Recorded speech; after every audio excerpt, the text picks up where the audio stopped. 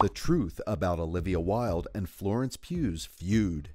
While the film's early critical reception has been mostly positive and it received a five minute standing ovation at the Venice Film Festival, fans can't help but be concerned about Don't Worry Darling. For months, the psychological thriller has been dogged by rumors that the film's lead actor, Oscar nominee Florence Pugh, and director Olivia Wilde were feuding behind the scenes. While we cannot confirm that this is ongoing, we can provide some insight into where these allegations are coming from. Florence Pugh expressed her excitement on Instagram in April 2020 about being cast as a 1950s era housewife moving into an experimental utopian community alongside Shia LaBeouf as her husband. In her Idol, Olivia Wilde's directorial follow up to Booksmart. However, the former Transformers franchise star left the Don't Worry Darling cast five months later, citing scheduling conflicts as the reason, and was replaced by pop singer and Dunkirk star Harry Styles.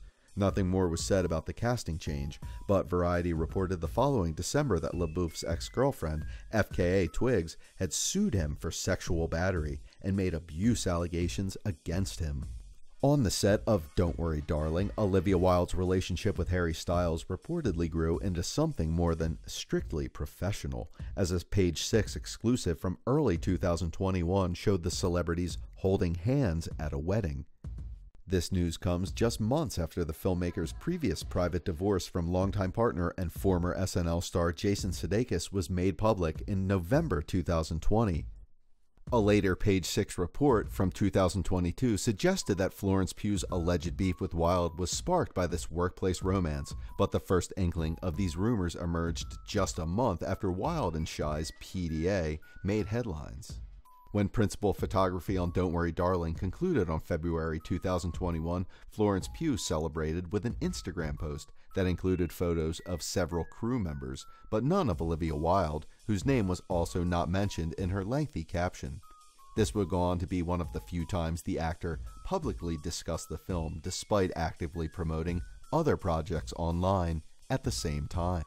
But it wouldn't stop Wilde from praising her lead star's performance on Instagram the following year. However, Pugh appeared to pay no attention to her director's post, not even liking it, fueling speculation that she was deliberately distancing herself from the film and, moreover, Wilde herself.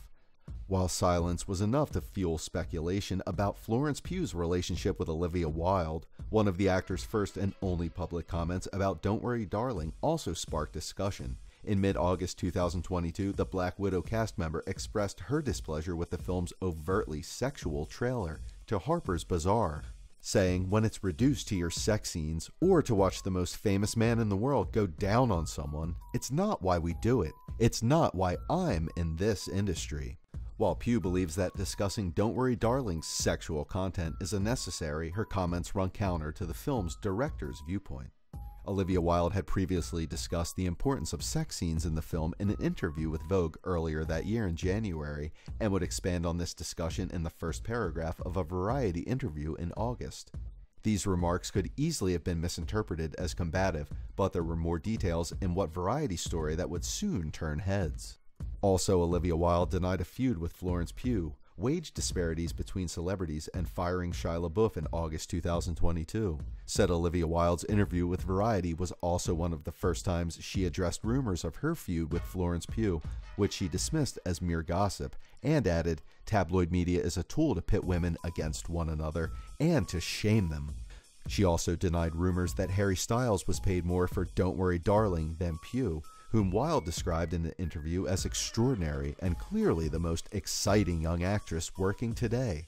The article also revealed that the director fired Shia LaBeouf, with Wilde explaining that it was done to ensure a safe environment for Pugh.